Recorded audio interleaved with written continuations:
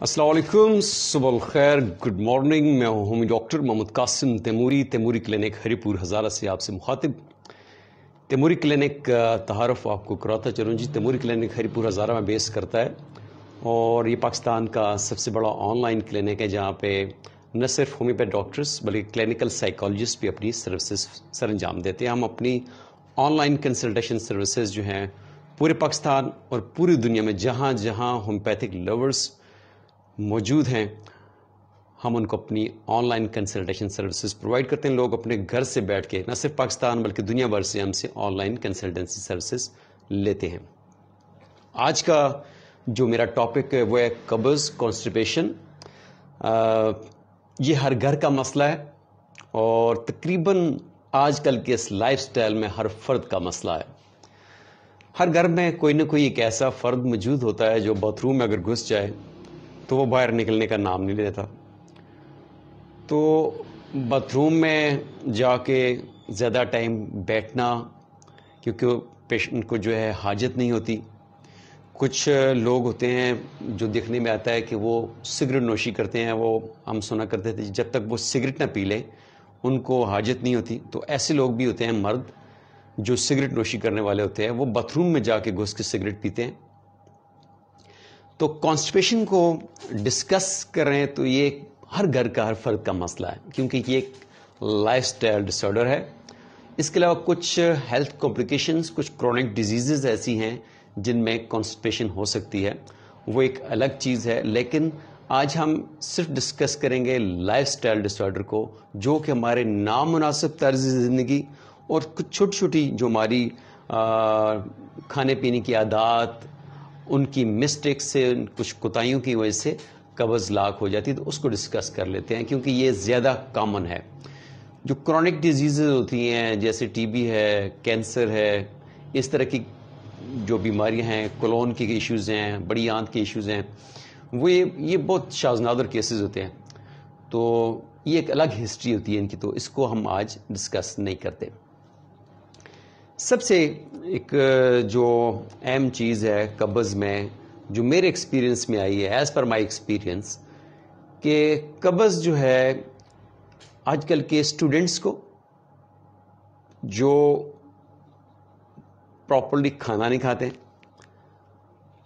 Total process foods खा रहे होते हैं चॉकलेट खा ली चिप्स खा ली नूडल्स खा ली, रोटी नहीं खाते ब्रेकफास्ट नहीं करते प्रॉपरली वो खाना नहीं खाते। टाइम पे वो खाना नहीं खाते।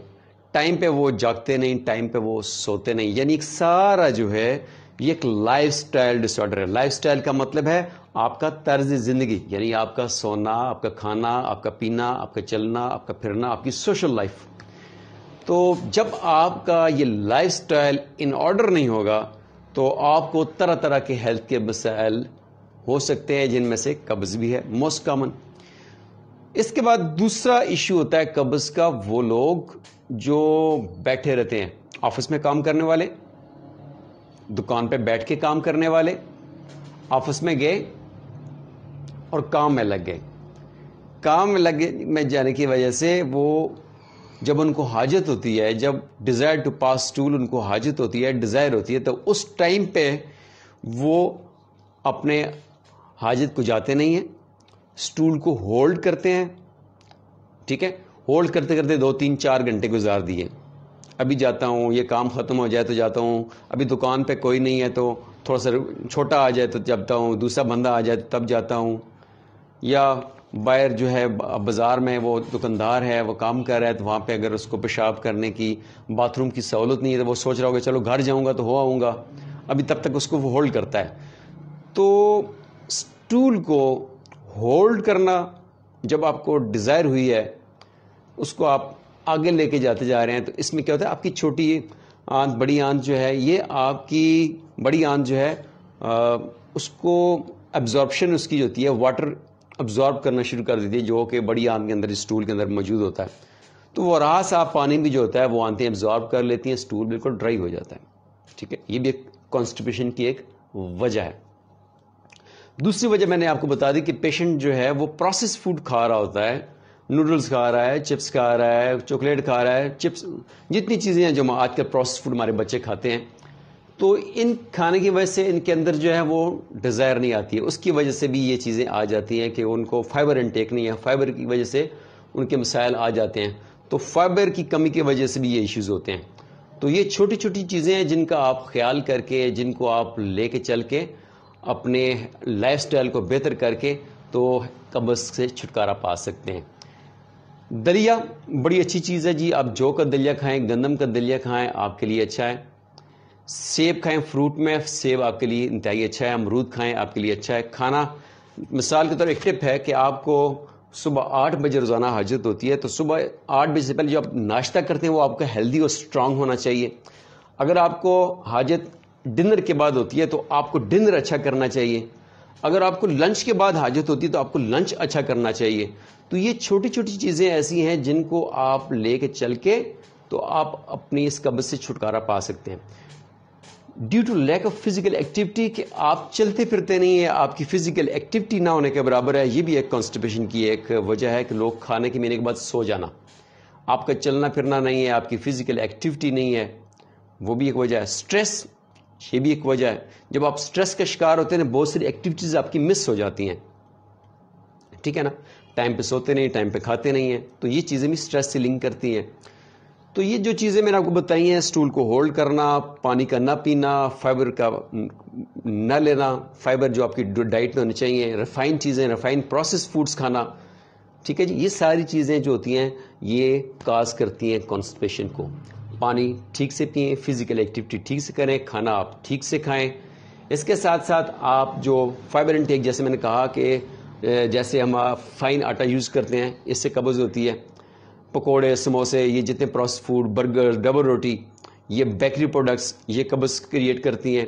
हमारे यहाँ साग वेजिटेबल्स सब्ज़ियाँ ये चीज़ खाना लोग जो है मायूब समझते हैं कि ये सस्ती चीज़ें हम क्यों खाएँ? जब तक कोई महँगी सब्ज़ी, कोई ऐसी, वो एक एक लाइफ स्टाइल में एक ऐसी चीज़ें आ गई हैं। बिरयानियाँ खाने से कब्ज़ होती है क्योंकि वो आप सिंपल स्पाइसी फ़ूड खा रहे होते हैं।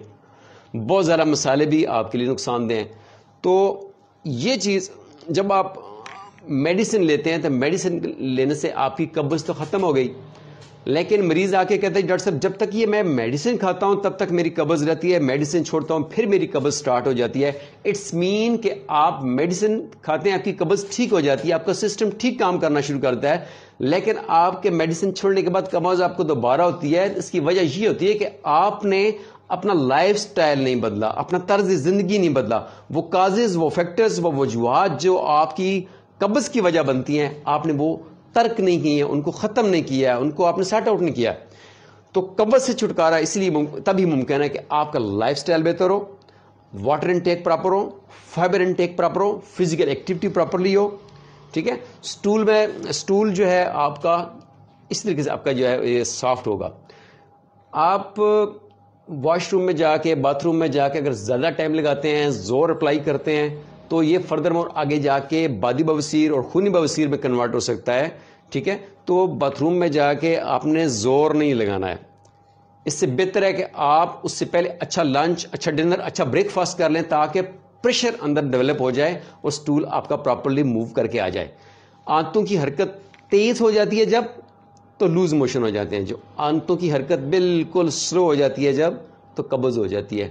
तो फ़िज़िकल एक्टिविटी आपकी आपकी आंतों की हरकत को बेहतर करती है। तो लाइट सी एक्सरसाइज बेहतर है। खाने पीने के बाद लाइट सी चलकदमी बड़ी ज़रूरी है। ठीक है? खाना खाने के बाद लेट जाना, बैठ जाना ये अच्छा नहीं है। ये लाइफ स्टाइल डिसऑर्डर जो मैंने आपको गिनवाए हैं, इनके ऊपर आप काम करें। देखें कि आपके अंदर कौन सा जो है डिसऑर्डर चल रहा है। कौन सी आप कोताही करते आ रहे हैं अपने लाइफ में?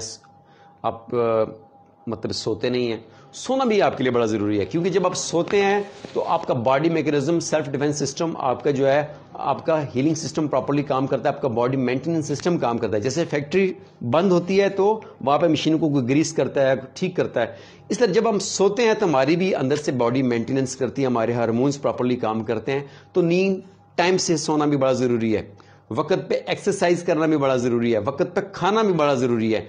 तो ये सारा फोकस मेरा आप पे ये है कि अपनी अदात, अतवार, खाना, पीना, सोना, जागना, चलना, फिरना, इसको आप इन ऑर्डर करें, आपकी ये कब्ज़ ख़त्म हो जाएगी। इन फिर आपसे बात होगी। थैंक यू अल्लाह हाफिज़।